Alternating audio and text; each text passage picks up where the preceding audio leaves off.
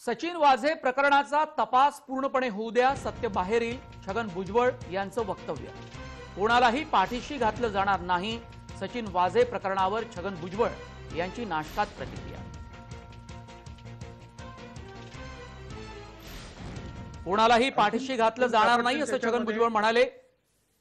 छगन भुजबळ यांनी नाशिकामध्ये पत्रकारांशी बोलताना प्रतिक्रिया दिली.